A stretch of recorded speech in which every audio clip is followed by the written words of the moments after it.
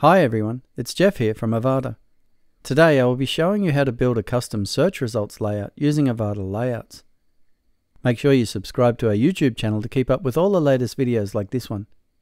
And if you don't want to miss one, click the bell icon to get notifications of all new videos on our channel. Okay, let's begin.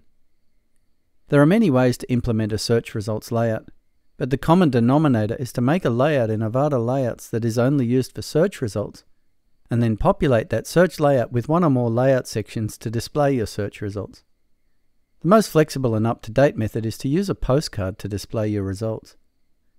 I've imported the Avada Business pre-built here, and while there's no obvious search field on the page, a layout has nonetheless been created for search results.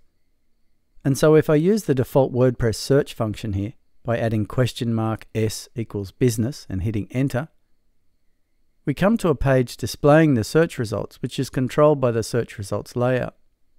Here, the top section is coming from the page title bar layout section, and under that a postcard is being used in the content layout section to display all results from the entire site, including documentation items, posts, and if I scroll down far enough, we also see some portfolio items. Let's just go to Avada Layouts, which can be found from the Avada menu here on the front end, at Avada Layouts from the WordPress sidebar or from Layouts on the Avada dashboard. So if I scroll a bit here, we can see the search results layout. We can see the page title bar and content layout section have been assigned, with the header and footer coming from the global layout. It also has a condition only to be used for search results. As you can see, that has been assigned in the layout conditions on the other tab. If I edit both the page title bar and the content layout sections, we can see the page title bar displays a header with a dynamic title and a search element. And the content layout section has a postcard archives element here using the news postcard to display the search results. Okay, so this is a basic search results layout. But to help understand this better and to explore what's possible here, I'm going to refine how search works on this pre-built and create separate search results for each post type, using a different postcard for each. I will still just use the one search results layout, but I will employ multiple postcards, rendering logic, and post type limited search fields to give an entirely different result. This way I can have completely different designs if I want with my postcards, and the different results they will be displaying. Okay, so first up I want to enable an easier way for users to search, and with that I'm also going to limit what they are searching for.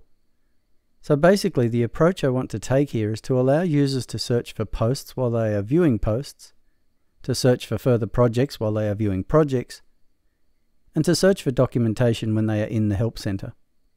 So if I go first to a post, I think I'll add a search element in this right column. The single post layout is also controlled by a layout, so here I want to edit the post content layout section and add my search element in at the top here. I'll add a search element and limit the results to posts. I'll add a placeholder here that says search our posts and I'll just style it a bit on the design tab. Okay, now on the navigator, I'll just drag this to the top of the column. And now this will be on every blog post. Let's save that. Alright, now let's add a search element to projects. I'll just go to a project, and here we can see there is a page title bar at play again.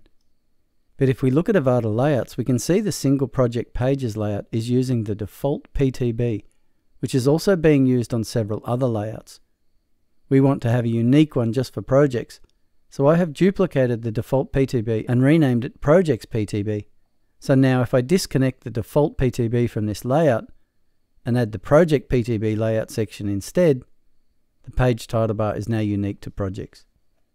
So now I can edit that layout section.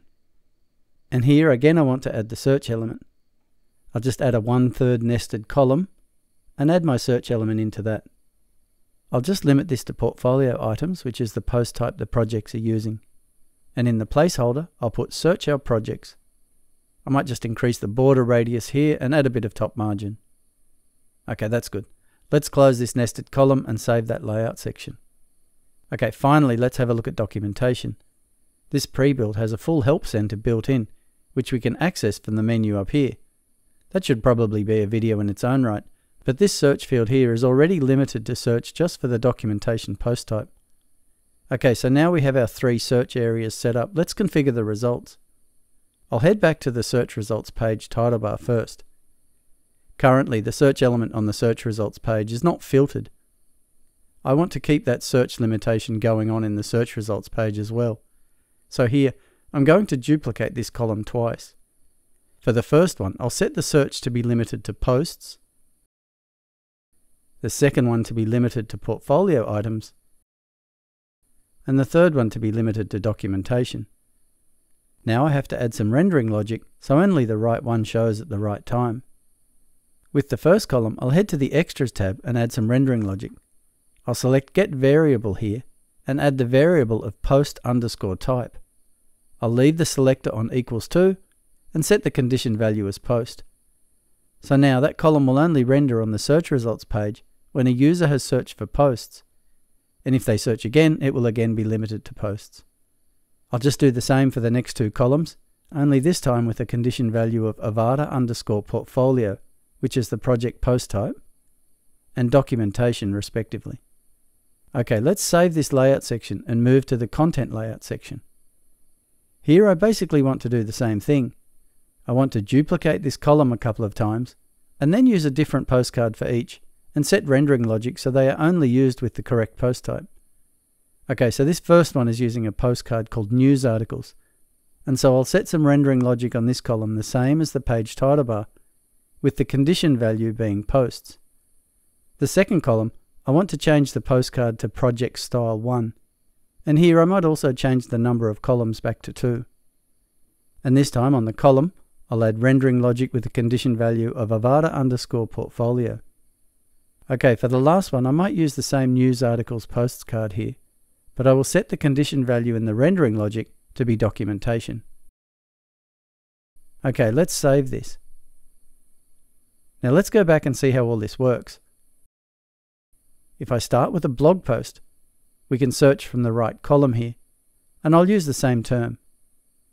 And the search results page loads, and we can only see one of the page title bars has rendered. And if we search again from there, we can see it's still limiting our search to posts so it's the right one.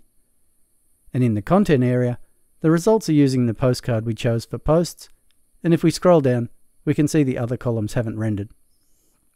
If I now go to a project, I can search here from the page title bar.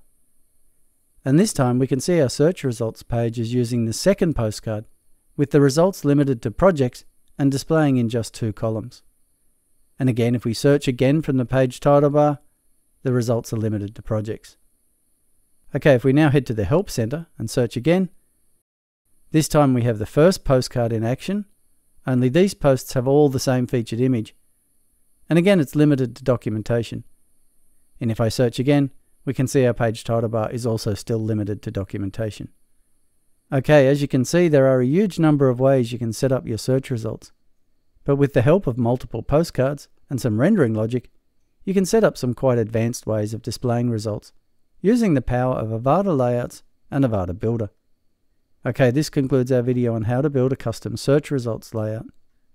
Make sure you subscribe to our YouTube channel to keep up with all the latest videos. And if you have any questions or need assistance, please create a support ticket and our team will gladly assist you. As always, we want to thank you for choosing Avada.